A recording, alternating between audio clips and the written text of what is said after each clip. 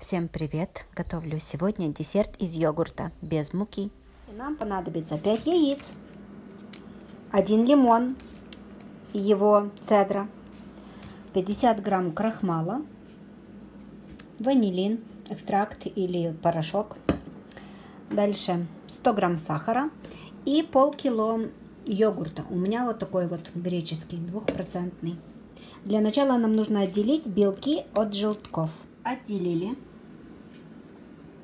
И делим 100 грамм сахара пополам. Половина сюда в белки и половина желтки. Все это хорошо взбиваем до устойчивых пиков даже. Итак, мы взбили белки, вот они, и желтки, которые тоже увеличились в массе и побелели.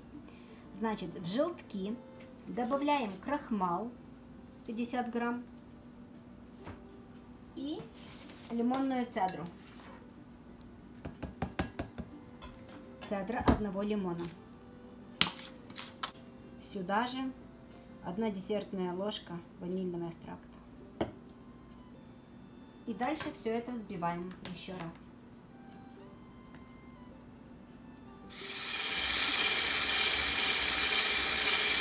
Затем смешиваем наши ингредиенты с йогуртом. Добавляем сначала желтки.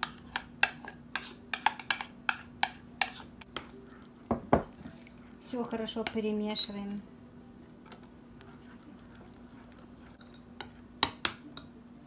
Ну и аккуратно вводим белки частями.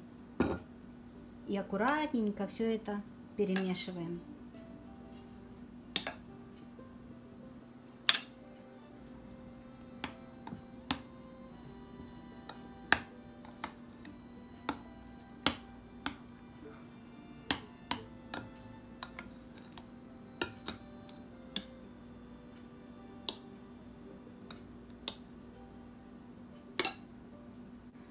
Вот такая вот воздушная получилась у нас масса пузырчатая.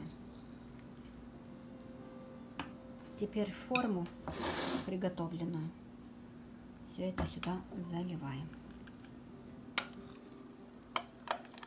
В разогретую духовку на 180 градусов на полчаса.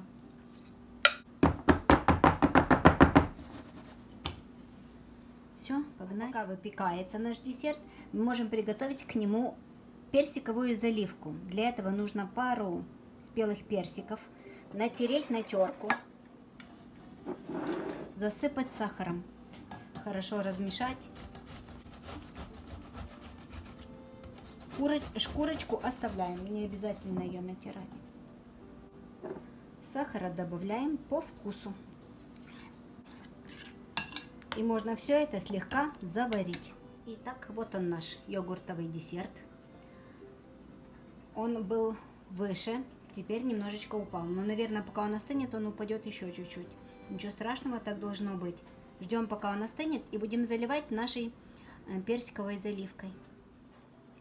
Благодаря тому, что у нас получилось углубление, отлично здесь задержится наша вот такая вот персиковая заливка.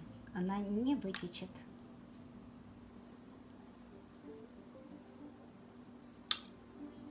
То, что это будет вкусно, даже не спорьте. И не сомневайтесь. И будем нарезать и пробовать. Вот такая вот нежнейшая вкуснятина у нас получилась. Можно добавлять себе заливочки, кому мало. И пробуем. Вы знаете, нежнейшая получилась вот такое вот даже не знаю, субстанция такая нежнейшая. Так и тает во рту.